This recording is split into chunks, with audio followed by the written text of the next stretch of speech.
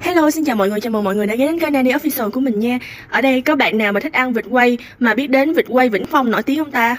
Ta nói mỗi lần mà mùng 2 hay 16 gì á mà muốn ăn vịt quay Vĩnh Phong là xếp hàng mấy tiếng đồng hồ mới có luôn. Hôm nay cùng mình khám phá thử xem coi vịt quay Vĩnh Phong có cái gì nha rồi mình đặt thêm cái gì nữa nè ở đây ngoài vịt quay ra còn bán heo quay, gà quay. Nhưng mà mình thấy uh, gà quay á mình chưa ăn nhưng mà thấy giá cũng khá là cao Mắc hơn là cả vịt quay nữa. Mình mua một con vịt quay thì người ta có cho một cái túi sau đó mình mở ra thì thấy có mấy bịch sa tế rồi một bịch dưa leo. Bây giờ mở ra thử coi một con vịt quay nó có nhiều không nha mà người ta mua quá trời luôn thì mình thấy ở trong đây ờ, có mấy cọng đen đen nè, nghe nói là nấm mèo.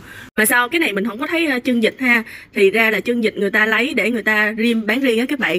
Mình mua chỗ khác thì có chân vịt ờ, nướng ăn rất là ngon, giòn giòn. Còn cái này chân vịt nó, nghe nói là phải mua thêm 10 ngàn có ba cái hay sao á.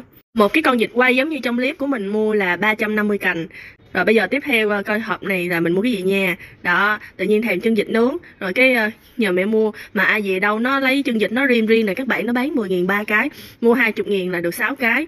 Nhưng mà ăn cái vị nó kỳ kỳ sao, giống như kiểu hoa hồi hay là hoa gì á. Nói chung là cái chân vịt này á, nhìn thấy khá là to. Nhưng mà ăn cái vị mình không có thích bằng lúc mà nó nướng lên á thì nó giòn giòn hơn. Còn cái này rim rim á, ăn nó sao sao kỳ kỳ á. Nói chung là thịt cũng khá là nhiều nhưng mà khẩu vị không có ok lắm còn đây là cái ổ bánh mì siêu to khổng lồ, siêu nặng tay luôn nè các bạn. Hình như là cỡ bao gan tay á, đặt ruột một ổ là 15 ngàn.